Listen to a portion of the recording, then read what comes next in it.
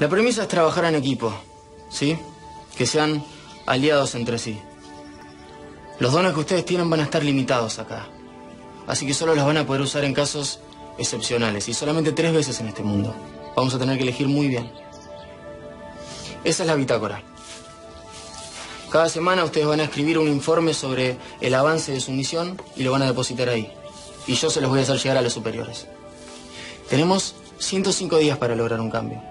Y el tiempo ya está corriendo. Y creo que todos estamos muy ansiosos por resolver esto, ¿no? Bueno, estos son celulares. Es una tecnología muy antigua, pero que acá los humanos utilizan para comunicarse. ¿sí? Son muy fáciles de usar, muy elementales. Cada uno de ustedes va a tener agendado el número del resto.